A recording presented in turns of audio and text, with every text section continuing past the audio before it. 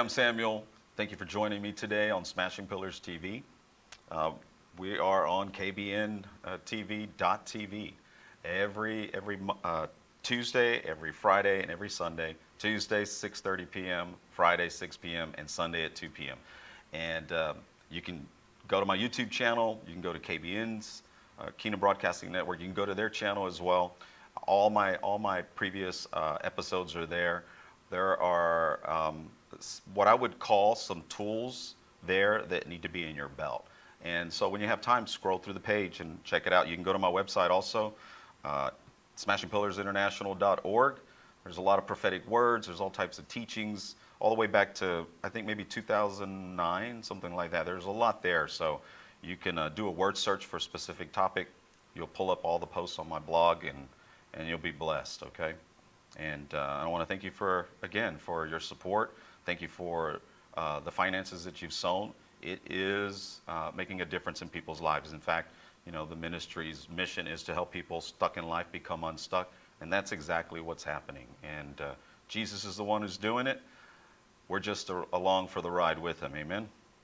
Okay, so let me open in prayer, and then we'll get started because we're gonna. I'm gonna pray for you today to let go of the past. The Lord was speaking to me last night that. Um, it's time to let go of the past. And actually, he's been saying that for a few weeks, but he really opened it up to me last night. And so we're going to we're going to talk about that a little bit, and then we're going to pray, okay? We're going to set you free from the past once and for all. Well, Father, I thank you for this day, Lord. I thank you for the opportunity to come before you again by the blood of Yeshua, by the blood of the Lamb, Lord God, to release our word, the word of our testimony, Lord, concerning you, concerning what you say.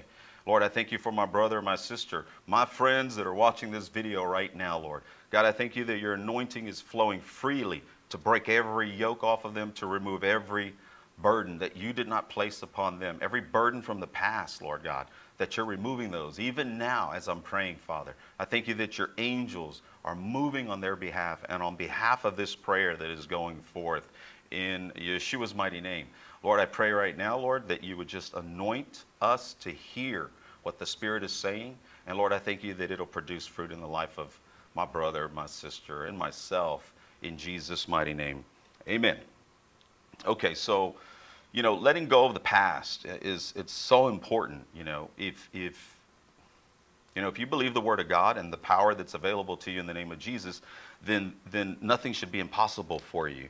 You should be able to do these things. Um, you know, we go through a lot of things. Okay, a lot of things are done to us. Um, we may be traumatized by things, even in our in our childhood, but there's nothing that the name of Jesus can't set you free from. There's nothing that the name of Jesus um, can heal you from or deliver you from. Amen. And you have to you have to really get that in you you know, the, the enemy is just releasing witchcraft, all kinds of occult powers and assignments that are being released in the earth today, specifically targeting believers, the, the sons and the daughters of God. You need to know you're a target. You need to know every day that you're, when you get up in the morning, you woke up in a war. You woke up in a battle. I'm not saying that every day is going to be fight, fight, fight, but you need to understand that the enemy is always looking for an opportune time, an opportunity to come and strike and you need to always be sober. You need to always be alert because the minute the enemy is able to come and, and, and, and, and take you captive, he will. It just takes, takes one moment of distraction, one moment where you begin to entertain something you should not be entertaining because the very thing that captures your attention, it captures you. That's the way the enemy works. So, you know, no devil, no demon, no warlock. Nothing can hold you back in Jesus' name. Not even the devil. The, what really holds us back is ourselves, our unbelief or, or our ignorance to what God has done for us. Okay? So today, we're going to pray uh, powerful prayers to deliver you from your past. It's so important that as Christians, we have to let go of the past. It could be from your childhood. It could be from yesterday that somebody did something to you that you're still thinking about it today. You, we need to learn how to let go. We need to practice letting go daily. You got to let it go. It should be a lifestyle, actually, that we practice. You know, if you don't let go of the past, you will never progress into the fullness of what God has for you. And that's just that's just true. It's like you're walking around dragging big sandbags behind you. Um, you'll always be tired. You'll never get anywhere. You'll always be struggling in life, and you don't want to. You don't want to be like that. You don't want to. You don't want to live that life. That's not the life God's called you to live. You know, the the past is something that should be forgotten. Unfortunately, a lot of people let it define them. Okay, are you letting your life, your past, define who you are today, because of what's been done to you or what others, you know, said about you? Maybe what your parents used to say to you when you were little. Are you letting that define you today? If you're in Christ, the Bible says that that old man, that old person from the past, who you used to be, has passed away. That all things have become new. That you are a new creation. And that's the revelation you need to get today that you don't have to be who your past says you are. Your past doesn't have to define you anymore. Man, I'm telling you, you need to get this because it's going to set you free today. The power that's in the name of Jesus and his anointing is going to set you free from your past. He is going to cut that cord once and for all. You know, you don't have to be defined by it, okay? You can let it go. Here's what your confession needs to be it's no longer I who live, that person from the past. No longer I who live, but it's Christ who lives in me.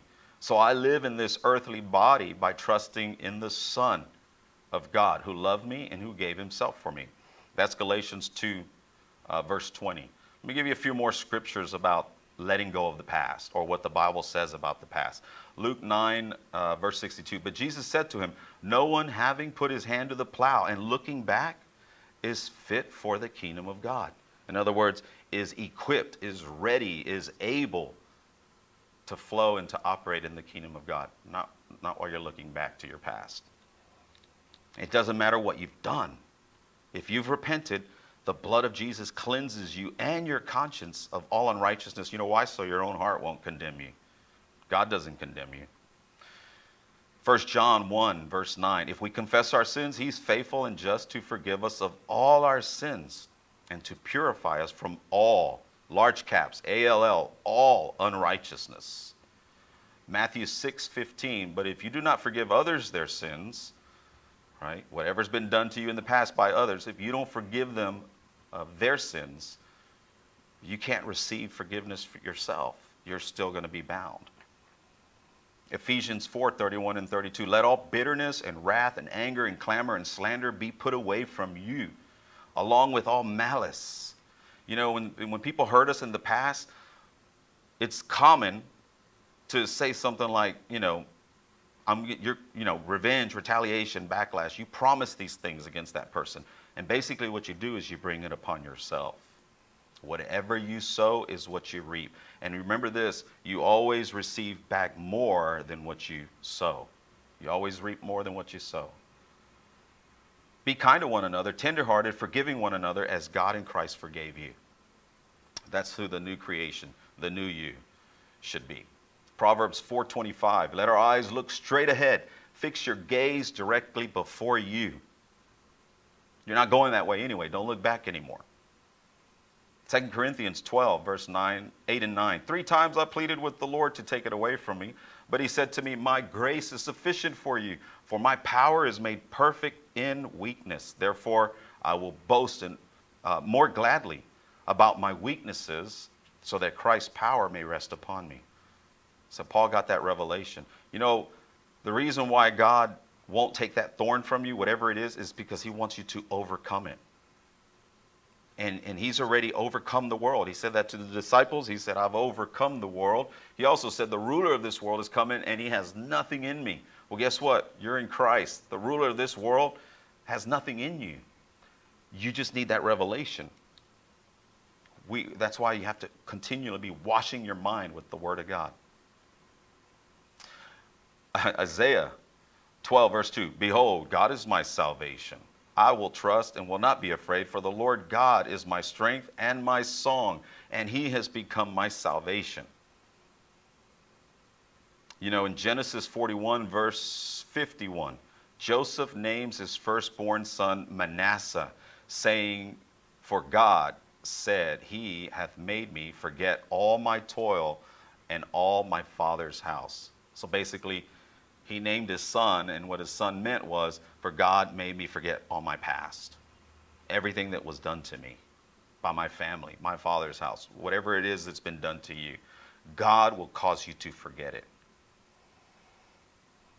There's, um, there are some things, though, from our past that are so traumatic or so demonic that it requires God Himself to get involved.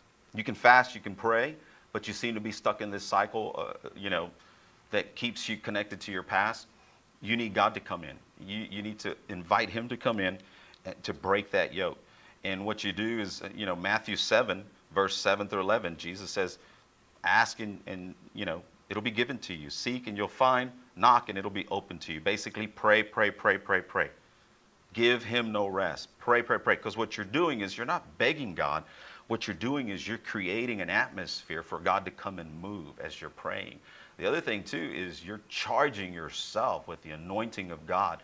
And it says in Isaiah, maybe verse chapter 10, um, that the anointing, that the yoke of the enemy will be broken off of your neck because your neck has become so fat. That means you become so rich and so saturated with the anointing that that yoke breaks and the burdens of the enemy are removed from you. That's why you should pray, pray, pray, pray, pray. No longer think of it as begging God. Don't beg God. Speak His word. Pray to Him. Talk to Him. Listen to what He says in the rest of this uh, passage.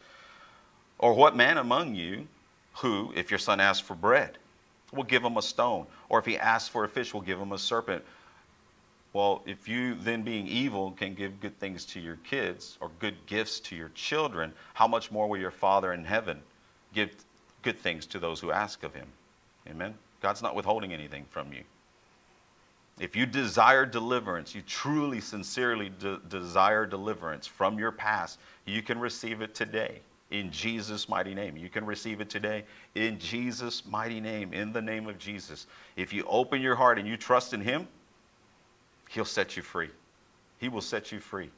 He'll not only set you free, but He'll also make you whole again. Nothing missing, nothing broken. He'll make it like it never even happened. You know, I've shared my testimony before. You can go to my YouTube channel. Right there at the top of the channel is my testimony. And you can hear about all the things that I experienced growing up as a little boy. And God made it like it never even happened. It does not affect me. I have a new name. That old guy is gone. He's dead. Every once in a while, I talk about him to be an example to others who will believe in Jesus Christ. Just remember that God's grace is sufficient for you. His power is released through your weakness, okay? God has you covered. You know, again, His grace, His grace is His nature and His character infused in and through you. In other words, God comes and he strengthens you in your inner man by the power and might of his spirit, and he causes you to overcome every work of the devil in your life that is set against you. Man, I'm telling you, that's awesome news. That is awesome. You'll defeat your adversary. You will. You get a, you get a hold of this, you'll defeat your adversary. You got to remember, you have to be strong in the Lord and in the power of his might. Willpower is not going to get it. It's not going to get it. I'm going to just, I choose, I'm going to, I'm going to forget the past. I'm not going to let it affect me anymore. Willpower is not going to do it. If it's, you've got to do it by the power of the Holy Spirit, by God. You need to remember also, you're not wrestling against flesh and blood, but against principalities and powers, mights, dominions. You're dealing with wickedness in high places. You have to take up the full armor of God and you have to stand. After you've done everything, you need to stand on the Word of God. You need to believe what Timothy, you know, Paul told Timothy, you wage a good warfare by the, by the prophecies previously spoken over you. You have to understand also in, in, in 1 Corinthians chapter 10, verse 13, it says, No temptation is overtaking you except such as is common to man. But God is faithful, who will not allow you to be tempted beyond what you're able, but with the temptation will also make the way of escape that you may be able to bear it. So, what is the way of escape that God provides for you? It's His grace. Remember, His grace is sufficient. His grace is your way of escape. He wants you to overcome every temptation the enemy brings towards you. I'll give you a passage that'll back it up. Hebrews 4 14 through 16. Seeing then that we have a great high priest who has passed through the heavens, Jesus, the Son of God, let us hold fast to our confession. In other words, don't be moved. Hold on to that confession. We do not have a high priest who cannot sympathize with our weaknesses, right? His anointing is perfected through our weaknesses, but was in all points tempted as we are, yet he was without sin. Therefore, let us come boldly to what? The throne of grace. There's your way of escape. The throne of grace. Why? So that you can obtain mercy and find grace to help in a time of need. There it is right there. There's no devil, there's no demon, there's no past, there's no hurtful word, there's no tra- uh, trauma- traumatic experience from your past that can keep you after today from moving forward in what God has for you. Nothing. As your praises go up, God's blessing comes down. You got to remember that. You got to get in the habit of worshiping Him and praising Him. You need to do it verbally. Okay? You've got to do it verbally. And just know this 2 Corinthians 4 16 through 18. God will use your past to take you on to something greater. He'll set you free from it, but He'll use it for your good and take you something to something greater. Therefore, don't lose heart. This is what it says in Corinthians. Don't lose heart. Even though your outward man is perishing, yet the inward man is being renewed day by day. For your light affliction, which is for but a moment, is working for you a far exceeding and e- far more exceeding an eternal weight of glory. While you do not look at the things which are, are seen, don't look at your current circumstances, but look to the things that are which, which are not seen. The things which are seen are only temporary. This shall pass, says the Lord. But the things which are not seen, they are eternal. So, you know, Paul also said in Philippians 3, he said, you know, forgetting those things which are behind. Think about that. Forgetting those things which are behind, right? I reach forward. I'm reaching forward to those things which are ahead. I'm pressing toward the goal for the prize of the upward call of God in Christ Jesus. You know, if it was good enough for Paul, it's good enough for us. It's good enough for Yeshua, for Jesus, it's good enough for us. He's the one who led by example, and then he gave us his very. Actually, he said in John chapter 17, he said, Father, the glory you've given to me that I had when I was with you before anything ever was, that glory, I've given it to them. I've crowned them with that glory. And the love that you have loved me with, you love them with the same love. I'm telling you, you're packing and you may not even know it. Everything you need is within you, okay? And so let's just go ahead and begin to, to pray. Let's just go ahead and, and worship the Father. Father, we th- thank you, God. I thank you that you're so good. My, my brother, my sister, make sure that you are separated, that you're not distracted for the next 10 minutes, okay, as we pray. And and I know that the power of God's going to set you free from your past. I would highly encourage you that you share this with others that need to be set free from their past, okay? All right, so Father, you're wonderful. You're a holy God. Lord, we worship you and we praise you right now. Father, I pray that you open the heavens over my brother, over my sister, open the heavens over myself, over Kingdom Broadcasting Network, where I'm standing right now. And let your, your power fall in this place. Let your power fill the homes, Lord of those who are watching this episode right now, Lord. God, I thank you that you're a holy God, that you're a righteous God. In Jesus' name, Lord, I thank you that you're a mighty God, that you're wonderful, that you're our counselor, our helper, you're our provider, Lord. You've never left us, you've never forsaken us, Lord God. Lord, today is another day that we have that we can press into you, Father. Lord, I thank you that we can seek you today and we can receive from you today, Abba. In Jesus' name. Lord, I thank you that your grace is sufficient and your power is perfected through our weaknesses in our lives concerning those things that concern us. Lord, receive all the praise and all the glory. Receive all the honor. You alone are worthy. You are the Alpha, the Omega. You are the first and the last. You are the beginning and the end. Lord, you are the only true God. There is no other God besides you. Lord, who can stop you from doing what you've already purposed in your heart to do for my brother or my sister today? Lord, I thank you that the angels are being released right now from your throne to minister to them, to bind the enemy, to set them free from the chains of the enemy, Lord God, from the chains of the past, Lord God. Only you can deliver, Jesus. Only you can deliver. Only you can deliver in Jesus' mighty name. In Jesus' mighty name.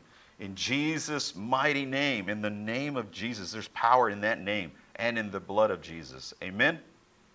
Amen. So we're not done. We've just created an atmosphere for the Lord. Get in the habit of doing that. When you wake up in the morning, just begin praising God. Just begin to walk through the house. Praise the Lord. Do you know that that's why the Bible says clap your hands? Says clap your hands, shout, make noise. Do you know when you clap your hands, it you know, sound is light. And in the spirit realm, every time you clap in your hands, it's there's an explosion of light. And so anytime you're being oppressed or depressed by the enemy and you, just don't have any strength. You're fatigued. You're you can't get out of bed. You know what you do? You walk around you just start saying praise the lord. Praise the lord. And clap your hands as hard as you can shout and just walk back and forth. Praise the lord. Praise the lord. Praise the lord. Praise the lord. You know what? You'll see all of a sudden the atmosphere starts to clear up. All of a sudden that weight comes off of you. All of a sudden the enemy knows you figured it out you figured it out that God has given you authority in both realms. You don't have to deal with that stuff anymore, brother, sister. If you believe and agree with me in prayer, you'll receive your deliverance today from your past. Where two or more agree concerning anything, Jesus said the Father would give it to us. Amen? He will give it to us. So, Lord, I just. I just lift up my, my dear friends right now, Lord. I lift them up to you. I thank you for their precious souls. I thank you for their lives, Abba. Lord, I ask you to release grace to them to release their past right now, Lord. That you release all the hurt and the pain from the past in their lives. Lord, I pray right now that your anointing comes and it breaks off every false burden, every false weight, every false obligation, every false responsibility that their past has put upon them.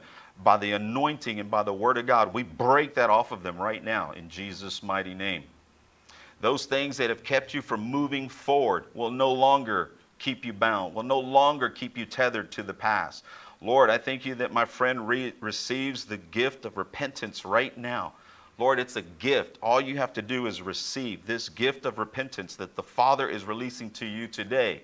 And you know what repentance is? It is the, the, the, um, the grace of God to change the way you think. Because God will deliver you from stuff, but you still have to change the way you think. That's where the transformation comes by the Word of God, okay? By the Word of God. Lord, let my, my friends right now receive total deliverance from their past today. Release them into a greater realm of your glory and your presence, a greater ability to flow in your spirit, Abba. Lord, let your power manifest to them now to release signs and wonders and miracles on their behalf to set them free once and for, for all from the past, Lord God. Lord, I renounce any vows and oaths and promises that were not of you. Lord, that, that, that, my brother or my sister may have made that has kept them tethered to the past. I break those cords and I set you free right now. I break the soul ties that have kept you tethered to the past. I set you free from those soul ties now in Jesus' mighty name. Lord, if deliverance is needed in any area of their life, Lord, I pray right now that deliverance comes. Deliverance comes from fear worry, anxiety, deliverance from depression, deliverance from addiction, deliverance from bondage, deliverance from um, infirmities. God, I pray that you deliver them right now. Totally set them free, Father. Totally set them free. Break the power of the enemy off of their life once and for all, Lord. I thank you, Father, that you're bringing my friends into higher realms of your glory even now as I pray. God, I thank you for doing this for my dear friends, Lord God. Thank you for moving mightily on their behalf, Lord God. And God, I thank you, Lord, that according to Job, it says in Job 22, verse 28, that you shall declare a thing and so shall it be done. I decree and declare you're set free from your past, brother. I decree and declare you're set free from all those things from the past, all the way to day one. For those of you who your parent, your mother tried to abort you, I set you free from that past because you were, you were known by God before He formed you in the womb. You belong to Him. You belong to Him and Him alone. He chose you before you were born. That's what the word says. Read it, Jeremiah chapter 1, verse 5. He ordained you also, He set you apart for Him. You have a future, and you have to let go of the past. You know, Job, um, Job 14, I'm just kind of off the top of my head here. Job 14, verse 14. Actually, no, let me read it to you. You've got to see this. Job 14, and then we're going to close with this. This is Job speaking. He's lost everything in his life, okay? Verse 7 through 9, and then verse 14 through 16 or 17. For there's hope for a tree, if it's cut down, that it'll sprout again, and that its tender shoots will not cease. And though its root may grow old in the earth, and its stump may die in the ground, yet at the scent of water it will bud, and it will bring forth branches like a plant. Verse 14 If a man die, shall he live again? Basically, he's saying, I only have one life. I'm not going to live again. I only have one life. So in this life, all the days of my hard service, I will wait until my change comes. Job knew God was not going to leave him like that. Job knew that God was not going to leave him tethered to the past memories of losing all his family and everything that he had, even his own health. Okay? Job knew God was not going to leave him like that. You need to know God's not going to leave you tethered to your past anymore. It's done, it's a done deal. You shall call, and I will answer you. You shall desire the work of your hands. For now you number my steps, but you do not watch over my sin. My transgression is sealed up in a bag, and you cover my iniquity. Hallelujah. That's how precious, that's how nurturing God is for you. He's your Father, He's the creator of all things. He loves you. I decree and declare you've been set free from your past once and for all. Let it go. Practice letting go and move forward. You need to look forward because God has some things that He wants to bring you into, but you have to be looking in that direction that He wants you to go in in order to enter into what He has for you. It's a new season for you. A new day has dawned upon you, and you need to know it. You need to know it. I want to thank you for taking time to watch this video. Thank you for taking time for me to allowing me to pray for you. And I know that God has set you free today. Please share this video with others that you know are tethered to their past so that God will set them free as well. In Jesus' name, right? In Jesus' name. He's the one who does it. I'm Samuel. This is Smashing Pillars TV. Thanks for joining me today. God bless you.